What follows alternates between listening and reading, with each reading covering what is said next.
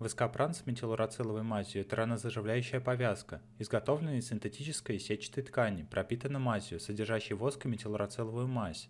Сетка обладает одновременно ранозаживляющим. Воск богат аминокислотами, минералами и витаминами, активизируя процессы деления клеток и заживления и выраженным антисептическим действием. В основе средства использована сетчатая полиэфирная ткань. Как результат, повязка идеально прилегает к коже любой части тела, как и на прямых участках, так и в местах изгибов.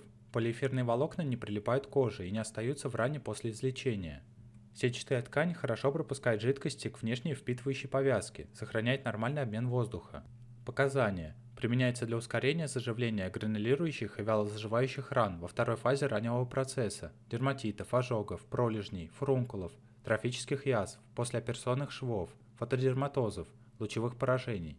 Способ применения и дозы. Вскрыть упаковку по линии отреза и достать повязку. При необходимости с помощью ножниц из покрытия вырезать фрагмент, соответствующий размеру раневой поверхности.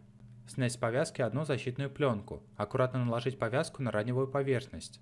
Наложить покрытие так, чтобы оно на полсантиметра выступало за края из раны, и через 1-2 минуты снять второй защитный слой. Наложить на покрытие стерильную марлевую салфетку и зафиксировать бинтом.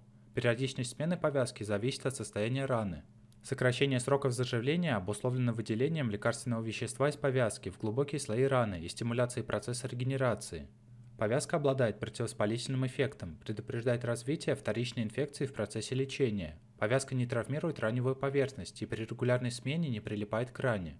Однако повязка может находиться на ране от 2 до 10 суток. Лечение одной повязкой свыше трех суток без смены проводится строго под наблюдением медицинского специалиста.